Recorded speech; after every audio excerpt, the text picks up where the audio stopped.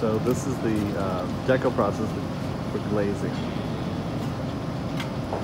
And then each one run down into the drying tunnel.